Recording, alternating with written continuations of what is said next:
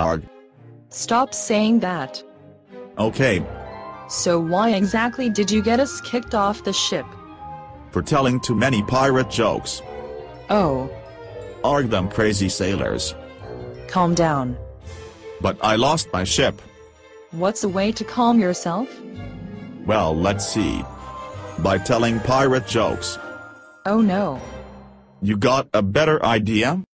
not at the moment. But don't get any more crazy ideas.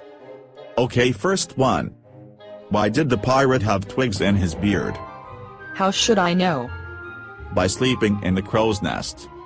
Well, I knew that. Sure. Next one. How do you make a pirate angry? Kick him hard. Take out the P and he becomes an irate. Gosh.